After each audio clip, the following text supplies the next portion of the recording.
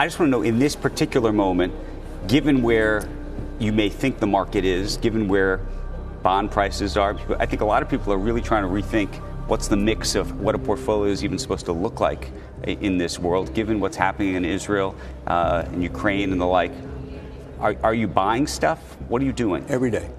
I'm con- I am amazingly bullish.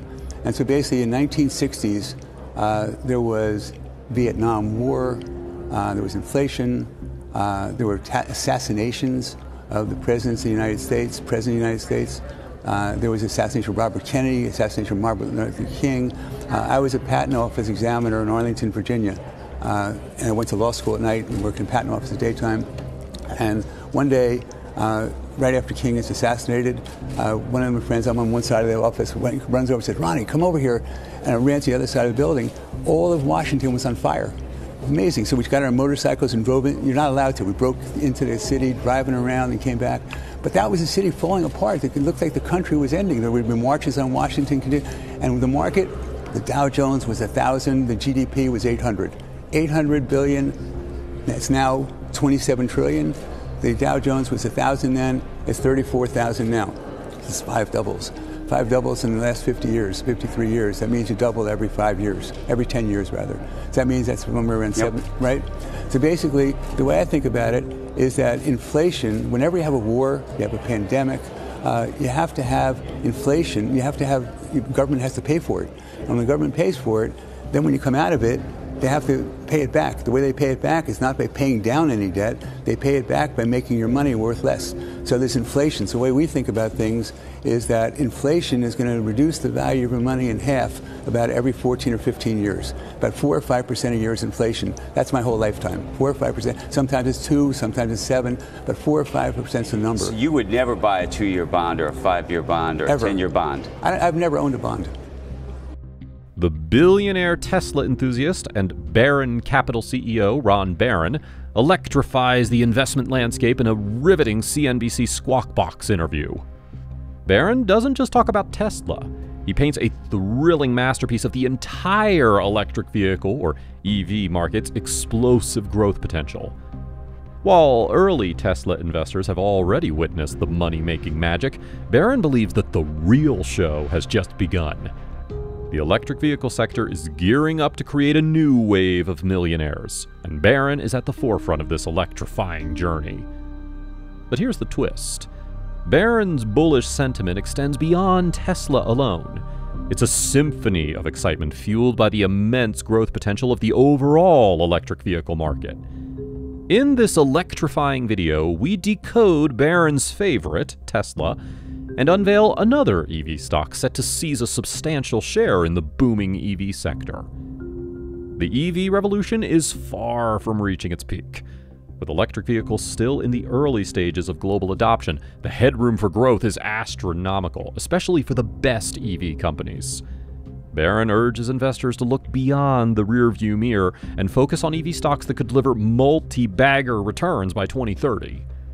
In the electrifying race, EV sales are projected to hit 14 million cars in 2023, constituting a formidable 18% of total car sales. Fast forward to 2030 and brace yourself for a shock. EVs are poised to claim over 60% of the total car sales market.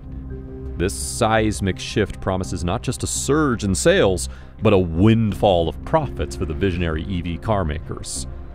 Even with competition heating up, the industry is expected to witness consolidation in the coming years, offering investors a unique window of opportunity.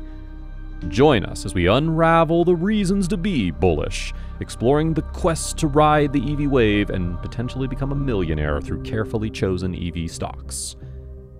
Let's dive into Baron's favorite, Tesla, and then we'll explore the other EV gem. They really were trying to define the company as an EV automobile maker is that the way you think about this company? I think about it as a technology company that's providing services to other auto- their own company and to others. They can't possibly be matched by anyone else. Um, they have data, technology. They make cars cheaper than anyone. When Ford makes one of these cars, an electric car, every car they make, they lose $36,000 on. $36,000 per car. Our company now makes about eight or $9,000 in profit a car they were making $15,000 in profit a car. But if they build a plant that costs $7 billion for a million cars, that plant was making $15 million a year uh, $15 billion a year on a $7 billion investment. 15 billion on a 7 billion investment. An ordinary industrial company would make 15% on capital, 20% the most. This guy's making his capital twice a year. Now, now he's making it once a year. He's making $8 billion in a $7 billion plant. So he's the lowest cost person. Everything about the business is trying to drive prices lower. Uh, right now, they will be in a very in, in the 1900s, early 1900s, the automobile companies were tremendous innovators uh, no longer is the case. In the 1950s, they decided they were going to go for profitability, and they outsourced all of their supply chain to their detriment. And all these companies went bankrupt. Hundreds of them went bankrupt. And now uh, the way we're going is that their electric cars, they drive. Um, I guess they have about 30 miles a day, 30 or 40 miles a day, and they have five, three million of them that are collecting data. 100 million miles a day they're getting for data, and then they're also getting compute that they're going to have more compute than anyone in the world in 18 months. First off, Baron highlighted Tesla's unrivaled efficiency, emphasizing that the company's cutting edge data and technology give it a distinct edge in cost effectiveness. Unlike other automotive contenders, Tesla is making cars more affordably, turning heads as they do it. Baron dropped a bombshell, revealing that while legacy automakers like Ford hemorrhage $36,000 with every car, Tesla is raking in 8,000 to $9,000 in profit per vehicle. Talk about a game changing financial performance. But that's not all. Baron sees Tesla's data advantage as a game changer. With a staggering 100 million miles covered daily, Tesla's technology is set to outpace the competition. The Tesla fleet is essentially a rolling laboratory, continually improving and solidifying its lead. And what about the temporary slowdown in electric vehicle demand? Baron has a bullish outlook, attributing the dip to factors like quality, pricing, and dealerships. According to him, the current electric car offerings lack appeal and come with hefty price tags. But fear not, as Baron believes that Tesla's upcoming Model 2 will be a market disruptor, making EVs more accessible to the masses with an anticipated price drop from $40,000 to $25,000. But what about China, you ask? Well, Baron's enthusiasm knows no bounds. He sees China not just as a lucrative market, but as a strategic alliance. China invited Elon Musk to elevate its struggling car manufacturing sector, fostering a mutually beneficial relationship. With Tesla's Model 2 poised for a groundbreaking launch, Baron predicts a surge in sales, reaching a staggering 5 million units annually. Ron Baron's bullish perspective on Tesla is nothing short of exhilarating. From unprecedented cost efficiency to technological dominance and a strategic partnership with China, Tesla seems poised for an electrifying ride to success. Investors, fasten your seatbelts. The Tesla saga is just getting started. The recent market response to Tesla's Q3 figures has created a lucrative investment opportunity for those with a long term perspective. Skeptics often misinterpret Tesla as an overvalued auto company, failing to recognize its core identity as a technology innovator. Tesla's diversified business model plays a pivotal role in steering the global transition from fossil fuels to renewable energy, echoing the successful strategies of tech giants like Apple and Sony Group. While Q3 figures may have disappointed some analysts, Tesla remains steadfast in its commitment to achieving an annual compound annual growth rate, or CAGR, for vehicle production of 50%. Company's resilience and focus on innovation continue to drive its growth story. Energy storage emerges as a key player in Tesla's revenue stream, with Q3 revenue surging by 40% year on year to over half a billion dollars. Accounting for 6.6% of total company revenue, energy storage's increasing significance aligns with Tesla's ambition to match the revenue generated by its auto unit. In the Asian arena, Tesla and BYD stand as the primary contenders in the burgeoning EV market. Both companies, ahead of the competition, exhibit robust growth trajectories. BYD's success in Q3, marked by an 82% year on year increase in net income, underscores the effectiveness of its vertical integration strategy. Tesla, following in BYD's footsteps, is enhancing its vertical integration capabilities. This strategy, epitomized by both companies, ensures better control over the supply chain, a vital factor in times of industry wide challenges, such as the price wars initiated by Tesla.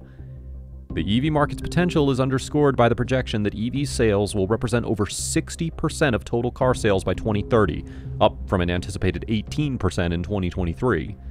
This substantial growth bodes well for leading EV manufacturers, promising substantial returns for investors.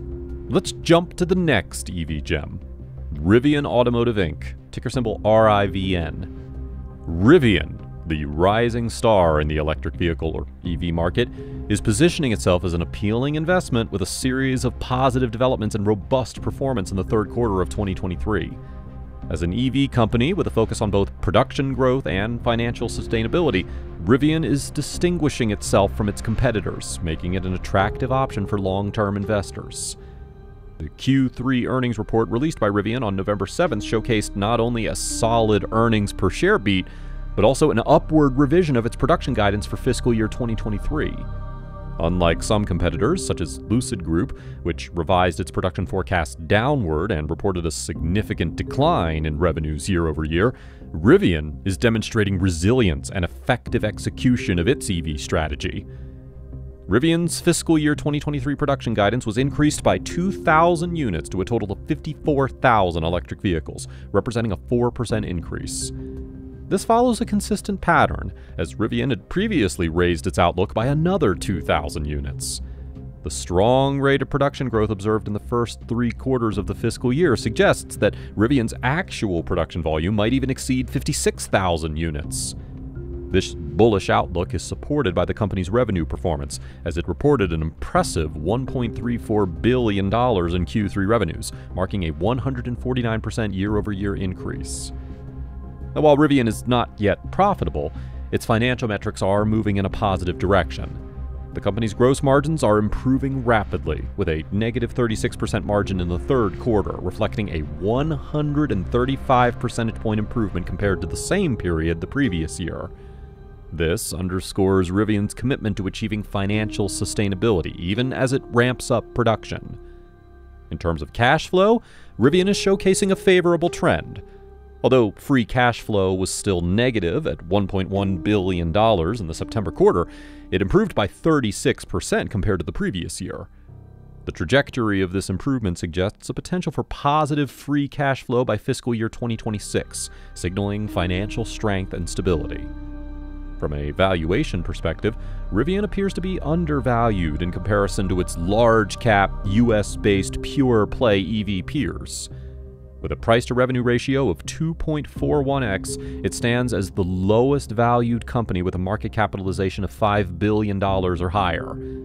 The potential for revaluation is evident, with an estimated 29% upside based on a reasonable benchmark price to sales ratio of 3.1x. Now, while Tesla remains the market leader in terms of market cap and production volume, Rivian's impressive production growth of 121% in the September quarter suggests that it's decoupling from its rivals. This trend positions Rivian as a compelling investment option, offering both growth potential and favorable valuation metrics.